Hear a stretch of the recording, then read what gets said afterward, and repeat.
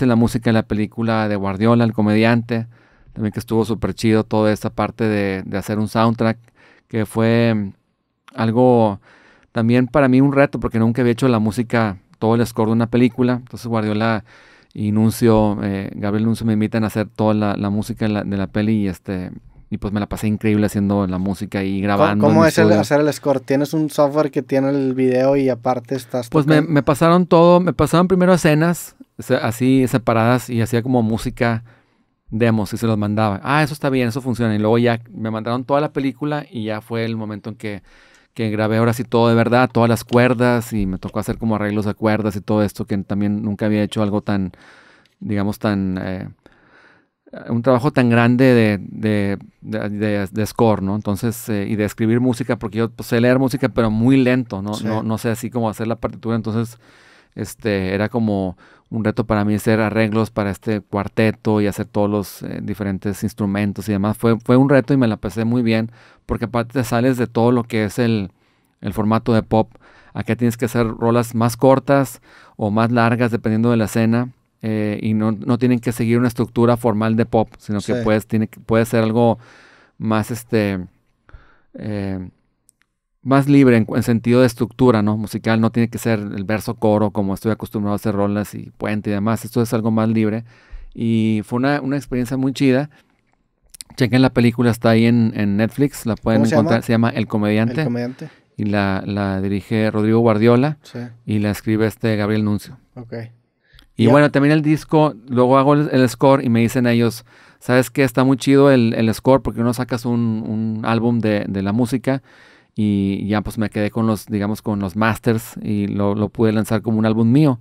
Entonces es un disco como de 20 rolas, de un minuto, dos minutos, unas un poco más largas, pero es un, siento que es algo que le agrega también como una un perfil diferente a mi carrera, ¿no? Que es un disco que no es de pop y es algo muy diferente. Entonces ahí está. Y eso es, digamos, lo, lo más reciente que he lanzado como, como chetes, ¿no? Y ahora con Zurdo que tocaron en el Machaca. Y, ahora con, y luego con Zurdo eh, nos llega... Eh, siempre nos llegan propuestas de hacer como regresos y como... Y a veces se da y, se complica o... Digo, estábamos en un, en un punto que no estábamos a lo mejor tan... Nadie tiene ganas de hacerlo, ¿no? Pero se dio esta oportunidad del Machaca y como que todos le dijeron que sí, entonces como que bueno, vamos a hacerlo, pero eso iba a ser hace dos años, antes de la, de la pandemia. Entonces, este, lo íbamos a hacer, luego se viene la, la pandemia, se cancela todo y ya habíamos firmado el contrato de, de que lo íbamos a hacer, ¿no? Entonces ya, después ya no sabía yo que, que se iba a hacer o no, y ya no sabía también si tenía ganas de hacerlo, porque ya dos años pues, cambia mucho tu vida, ¿no? Entonces, eh, y estaba como de alguna forma como dudoso, no sabía también cómo estaban ellos, si también ya les daba a lo mejor flojera, no sé. Pero eh, creo que lo manejamos bien en el sentido que todos eh, cumplieron con lo que tenían que hacer. Nos juntamos a ensayar y, en el primer ensayo todo, todo, fluyó. bien padre. Y creo que se, se, dio muy bien este concierto en el Machaca. Lo sentimos todos eh, muy a gusto, hubo muy buena vibra, ensayamos como dos semanas todo este, este concierto, eh, que era más enfocado al disco de Hombre Cinte, pero incluimos unas rolas de otros discos, ¿no? Como ahí las más conocidas, por decirlo así. Y y ahora está la posibilidad de tal vez hacer otra fecha o hacer otras fechas dependiendo. O sea, solamente era esta fecha. Era esta fecha. Que, quedaba de antes de pandemia. Ajá. Y pues, se, se, sintió bien. Entonces ahora, digo, no hemos hablado nadie. Es que fue muy reciente. Para la gente que nos está escuchando, esto fue la semana pasada. Exacto. Este fin de semana. Fue, fue este, la semana pasada, exactamente. Entonces, el 25 de junio. Sí, fue hace tres días. Y este.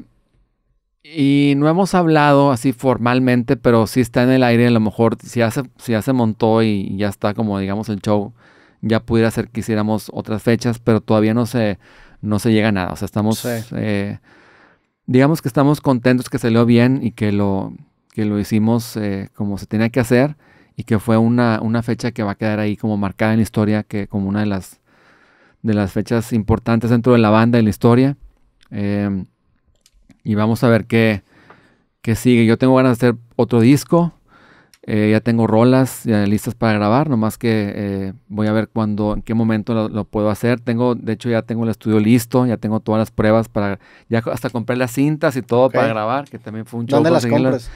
Hay varios proveedores, bueno, hay dos proveedores, eh, dos fábricas de cinta ahorita en Estados Unidos y en Francia. Ok. Y este y las dos son buenas, pero ¿Cada vez es más difícil para ti conseguir o no? pues están esas opciones, ¿no? Que, Que- s- que que las hacen ahorita, pero me gusta más la calidad de las cintas de antes, Ya.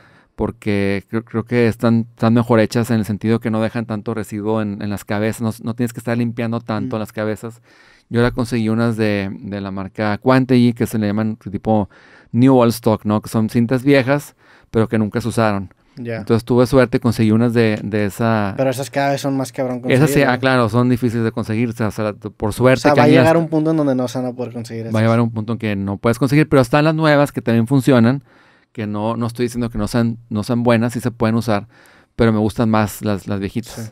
¿Y dejan residuo en, en la aguja? Es que es, eh, se tienen, tienen como químicos, ¿no? La cinta y tienen como un lubricante para que cuando pasen por las cabezas no se quede atorada, que, que la cinta fluya, ¿no? Ya.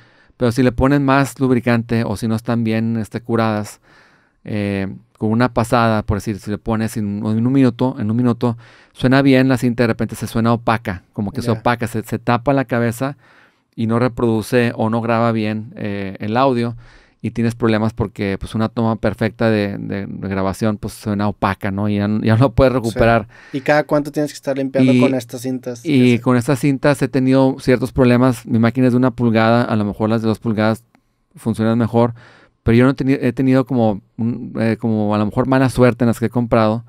Este, y, y he notado que con las cintas viejas que hacían antes, este, estaban como que mejor curadas. Entonces las pones y no tienes que estar limpiando tan seguido. Tienes que limpiar a lo mejor una vez al día o una vez que cambias de, si trabajas una rola, te vas a otra después de, no sé, tres horas de uso ¿Y con las de limpias y con las de ahorita sí me ha tocado de que escuchas dar una vez y luego empiezas a tener problemas de que Ya. ay se, se opacó y tienes que limpiar y luego ves en el Q-tip de que porque le pones alcohol al Q-tip y vas limpiando ahí Y ves que y ves que se está dejando como residuo, ¿no?